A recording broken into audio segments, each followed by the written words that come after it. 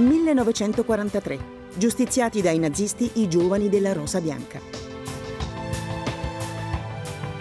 1997. Annunciata la nascita della pecora Dolly.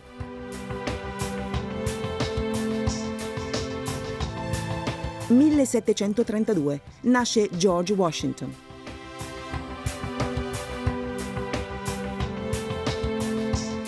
Commenta il fatto del giorno Francesco Carrassi, direttore de La Nazione.